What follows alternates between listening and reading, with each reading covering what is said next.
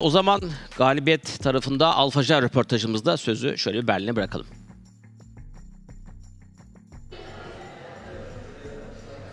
Evet kazanan taraftan Fanatik'ten Alfajer'le birlikteyiz. Alfajer ellerinize sağlık. Harika bir seriydi. Evet Haven haritası biraz uzatmalara gitti. Bind haritasında çok daha farklı bir e, harita sonu vardı. Sen bugün nasıl özetliyorsun? Abi ilk öncelikle e, bence e, Heaven'da biraz özgüvensizlik diyebilirim. Yani konulardan da belli oluyor. Bugün bir Heaven'dayken üstümüzde bir vibe vardı. Bir özgüvensizlik vardı. Sebebini çözemediğim için de çok fazla gereksiz piklerde gereksiz hatalar yaptık, öldük. Ama Bind üzerinde e, herhalde turnuvanın ilk official bind'ı. Evet. Bizden geldi. Yani son bir haftadır falan çalışıyoruz diyebilirim. Çok fazla komp denedik ve bu kompla çıktık. Yani iyiydi. Bind üzerinde iyiydik.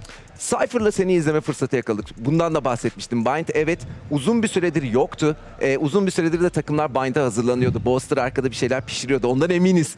Ama ne pişirdiyse gerçekten harika pişirmişler. Ee, senin biraz önce bahsettik hamam tarafındaki oyunları mükemmel. Kendini nasıl hissettin Cypher'la birlikte? Bind'da e, gayet iyiydi. Abi çok rahat hissettim. Çünkü en azından Cypher oynarken kendi play'ini yapabiliyorsun da ben de e, en azından eskiden Entry oynadığımda kendi play'imi yapıyordum daha Evet. çok. Yani bu da bana katkı sağlıyor. O yüzden rahatım yani.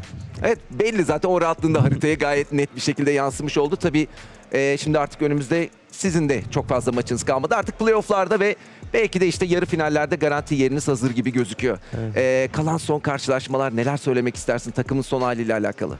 Yani şu an e, takım iyi ama e, biraz yorulduk diyebilirim. Çünkü uzun bir süreç. Evet. En azından bir playoff'a çıktığımızda rahatlayacağımızı düşünüyorum. Zaten son kalan iki maç bizim için çok önemli maçlar değil.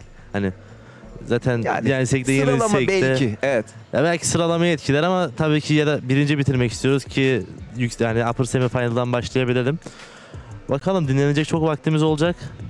Toparlayacağız. Ve rakiplerinizi izleme fırsatı yakalayacaksınız. Çünkü çeyrek finallerde oynayacak takımları net bir şekilde görme. Siz direkt yarı Evet. finallere eğer yerleşirseniz. Şimdi sizden sonra iki tane takımdan bahsediliyor.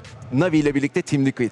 Bu takımlarla birlikte playofflarda karşılaşacaksınız. Nasıl Navi ile alakalı, Team Liquid ile alakalı neler söylemek istersin? Çok zorlu rakipler olabilirler.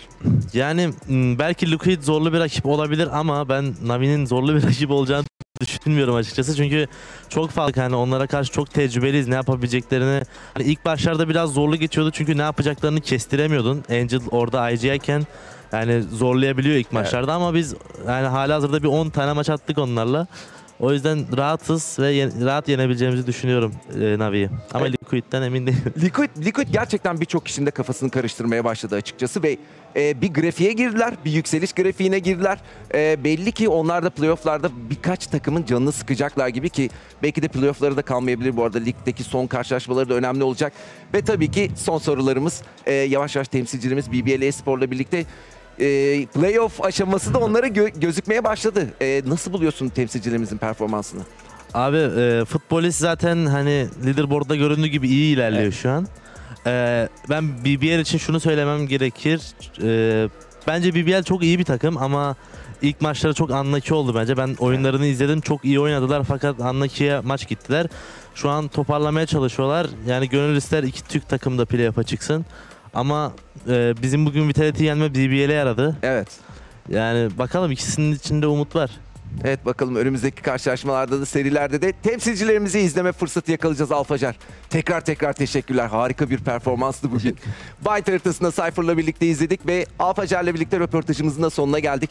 Tekrar analiz masasında sözü bırakıyoruz. Görüşmek üzere.